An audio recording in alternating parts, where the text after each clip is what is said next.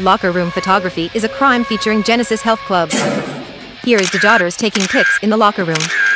He likes to pose for pics in the locker room's bathroom and in the toilet stall.